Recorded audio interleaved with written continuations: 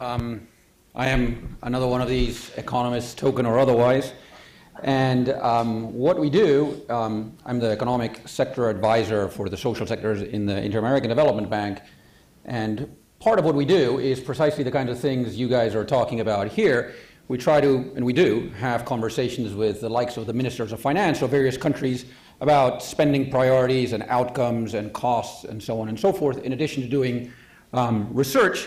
And before I get into the, the, the substance of the talk, I want to point out a salient feature about that. We recently, the Inter-American Development Bank has an annual publication. Next year's publication, this is the flagship publication, will be on uh, early childhood development. And so we've been doing a lot of the analysis for that already. And you find some staggering facts. For example, in rural Brazil, just to give the, one of the examples, the poverty rate um, amongst children is 40 percentage points higher than the poverty rate amongst adults 65 and older.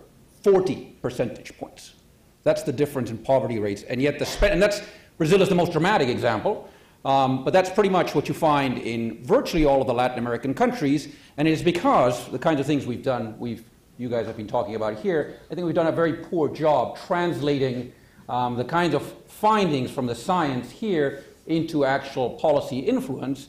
Um, and Latin America, in the last two decades, has implemented a variety of programs for the elderly, mainly non contributory pensions, which have really brought down poverty amongst the elderly. Um, and amongst children, very little has changed uh, over the last um, two decades. And if we look at spending patterns, we can actually see that spending per uh, old age adult is on the order of three, four times as much as spending per young child, even if you take into account programs like cash transfers, which are um, have some benefits for children, but it's not clear that all the benefits should be tabulated for children. So there really is an issue about how to translate um, the science of what we're doing here into policy making. And I do think there's a point I made at an earlier meeting of the IOM. I do think it's partly because we're sort of stuck in what I find somewhat arid debates about what is the exact perfect indicator. And as a result, we have no indicators. And as a result, we have nothing much that we can talk about when we go to um, policymakers. And that's really a, a depressing uh, stance. It might be uh, very nice from a scientific point of view, but it's not so good in terms of the lives of these children. So, with that introduction, which has taken up uh, probably about a fifth of my time, what I'm going to present here is um, ongoing work, because the other thing that we do at the IDB is we do um, research, and we fund a great deal of research. Um, and this that I'm going to present here is to some extent to get us to maybe, maybe rethink some of um, the emphasis that we've been having exclusively on very young children. Um, this is work that is largely, what I'm going to present is largely based on joint work with Caridad Araujo, who's sitting there, Pedro Carneiro, and Yyannú Cruz. And what it is, it's really an analysis saying, look, by the time these kids get into kindergarten, by the time they're five, six years of age, is it too late or is it not too late? So let me start by saying that as many of you have pointed out, and I'll show you a graph exactly for that point, Many children in Latin America arrive at the threshold of schooling with deep deficits, not just nutritional deficits, which we've been measuring for a long time, but also language and cognitive deficits. This is from a paper with uh, Jere, Caridad, Raquel, and a variety of other authors, um, which is forthcoming. And this is um, looking at the TVIP, which is the Spanish speaking version of the Peabody Picture Vocabulary Test, a receptive language test. We have data that is essentially representative of the population in rural areas. And what we have here for these five countries, we have the fraction of children that is more than two standard deviations below where they should be um, with regard to the reference population that was used to norm the test in each of these countries, and then the differences between the first um, and the first, the poorest, and the fifth, the richest quintile.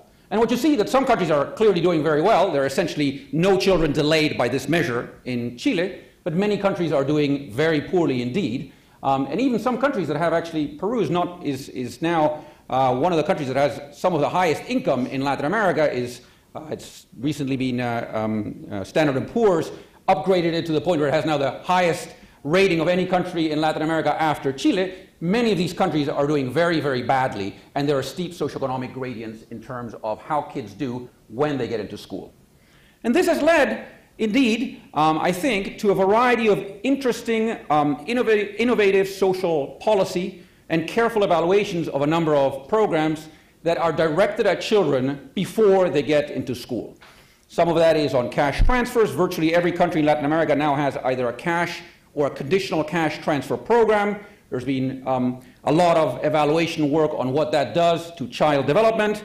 There's this kind of stuff on parenting interventions that Paul uh, presented. There's also uh, complementary work that Orazio Attanasio at UCL and others are doing on a program in Colombia. And then there's work, ongoing work now, what happens, what is the impact, if you like, of center-based care for young children. And all this is excellent work and should be done, and certainly nothing I'm going to say should in any way challenge either the findings or this or the importance of this. But I do want to say one thing. By the time children are five years old in just about every Latin American country, not only are many of them delayed, but in most Latin American countries by now, almost all the kids are in school at age five. So what you see here, this is calculations based on uh, all of the household surveys for the region. What you see here is the fraction of children five years of age who were, enrolled at some point in the late 1990s, the fraction who were en enrolled in the late 2000s, the year varies a little bit from country to country, as well as the comparable fractions for the first and the fifth quintile. And what you see is a great deal of progress, and as a result, a lot of shrinking in the gaps in enrollment between the first and the fifth quintile, and in many countries, close to universal enrollment. So, what I'm saying, and I guess in some sense what I'm going to be presenting is so now we have all these kids. Maybe not all. We have a lot of these kids. They are sitting in classrooms. This is age five. By the time they're age six, you've got essentially 100%. I'm talking age five, kindergarten. These kids are in the classrooms. Is it really too late at this point? What can and cannot be recovered at this point? Have we sort of missed the boat? And what I'm going to argue is that no, we have not missed the boat. That there's a lot that we can do, and that the critical element here is teacher quality, or at least the quality of the education that these children are exposed to. So, what did we do? We essentially did a study that is similar to a very well known study in the US uh, called the Tennessee STAR experiment. We took a random sample of 204 schools in Ecuador.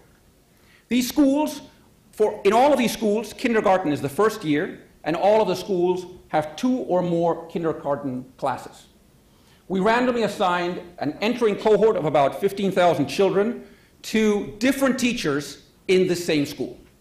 We have a compliance rate of about 99%. That means a year later, it's not just that we randomly assigned them and then we went home, we actually went throughout the year and made sure that the kids were sitting where they were intended to be sitting, in other words, with the teacher that we've been assigned, that they had been assigned to, and 99% of the kids are in fact sitting where they're supposed to be sitting. This is much higher levels of compliance, by the way, than, for example, the Tennessee uh, STAR and some of the other experiments like the uh, MET study, which is being conducted right now. Then at the end of the year, a year after these children were randomly exposed to teachers of, as I will show you, very different quality, we collected for 15,000 kids, we collected 12 different tests. Four tests of math, four tests of language, and four tests of executive function. Tests of response inhibition, a test of working memory, cognitive flexibility, and attention. This took about 40 minutes per child. So this is a big effort. 15,000. They're obviously tested individually. This is not a test that you go into the class and they're all sitting there and you say, okay, everybody pay attention. Here's the little test. Everybody fill it out. We took 15,000 children and tested them individually. Uh, the vast majority in school, those who had dropped out or were not in school on that day, were tested at home. So a big, big effort. About 93% of children, including those who had dropped out, completed all of the tests. So the first thing we find, this part is descriptive, the first thing we find, just consistent with everything else that we've heard here and consistent with the data I showed you before, is that there are in fact at the end of the year, this has, so far this has nothing to do with teacher quality, there are in fact steep socioeconomic gradients in these development outcomes. So now we've got these children who were five at the beginning of the year, they're essentially almost all of them are six.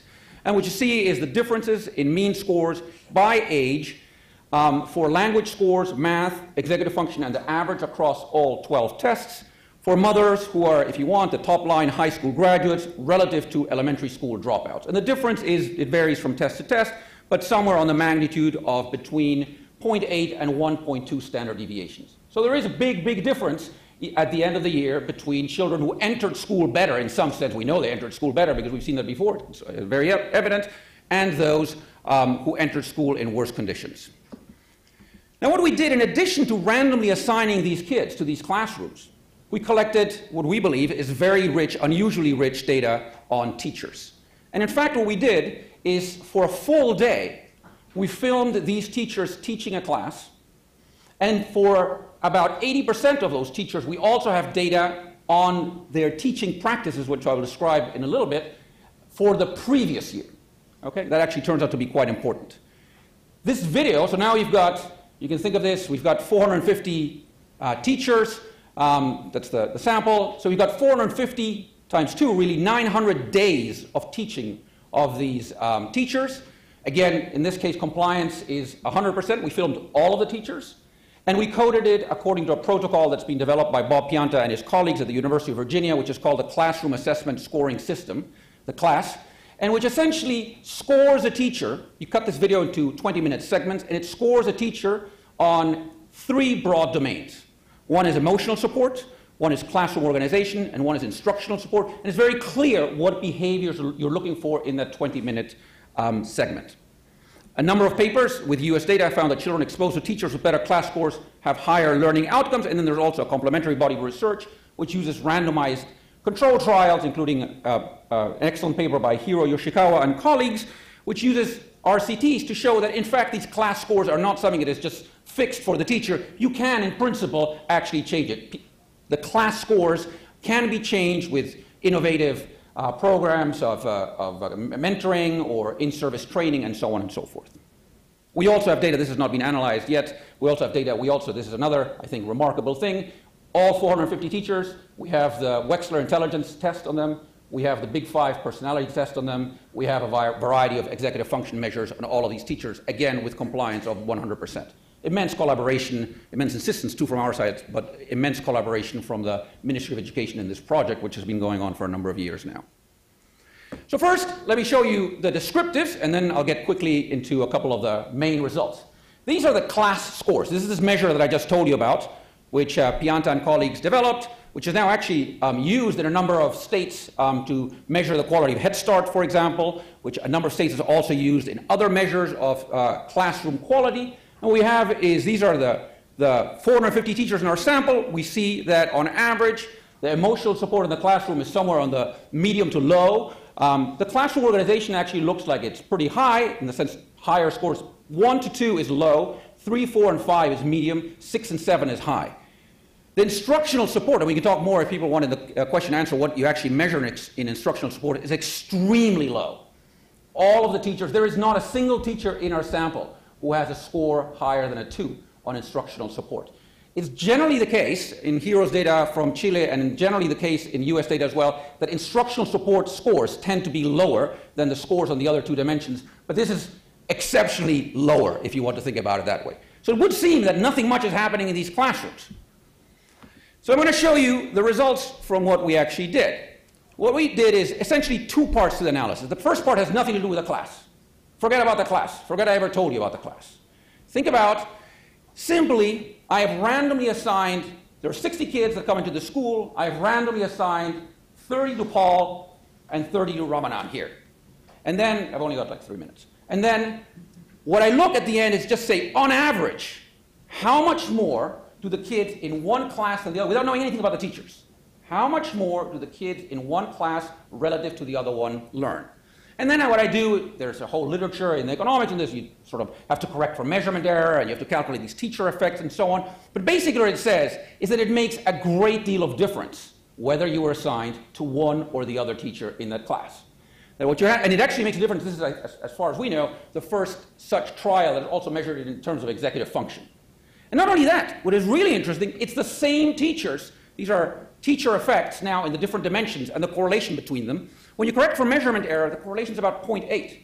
So if Paul is a better teacher, sorry to pick on you, Ramanan, if Paul is a better teacher than Ramanan, he is a better teacher on all, for all the different tests. It's not as if, well, Paul, you know, he's kind of a soulful guy, and so therefore all this executive function is working really well. But on the other hand, Ramanan is a bit of a hard, you know what a, the missing word there is, and but uh, oh boy, they're learning math, they're learning, no. The kids in one class are learning more in everything than the kids in the other class. Moreover, if we now look at the effect of the class, a one point difference in the class results in 0.6 standard deviations more learning. Okay?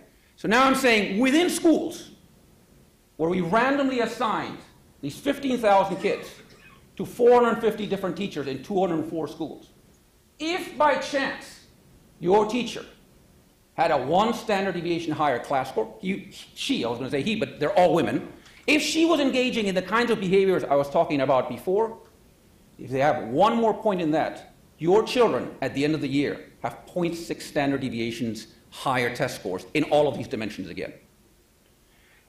At the beginning of the year, and this is the last slide, so at the beginning of the year, the difference in outcomes between mothers, between children of mothers who had completed high school education and children of mothers who were elementary school dropouts was about one standard deviation. At the end of the year, if the kid whose mother was an elementary school dropout got the teacher with a class score that was one point higher, that difference is no longer one standard deviation. It's 0.4 standard deviations after one year. And this is randomized, randomized assignment, as I said, with around 99% um, compliance. And in fact, the class, it's not just that the coefficient is large. Once you, there's, I can talk more about it, I won't have the time, but there's, there are a lot of concerns about measurement error in the class. So you have to really do something about, in the calculations, about purging out this measurement error. But once you purge out the measurement error, the class explains about a third of the cross teacher within school variation in child learning. There's a lot. I mean, we're, we're generally happy when we get a, you know, this is one variable. We're generally happy when we get an R squared of like 5% with one variable. I don't want to get into, well, okay. 35% of the variation is a lot of the variation explained by this one measure. So we have other results. Better teachers are better for, the other thing is distributionally, we have the distributions. It shifts the entire distribution to the right. This is not working on one side of the distribution or the other. Actually, very interestingly, we also, this is actually quite interesting. Sorry, I'm going to go over time by two minutes.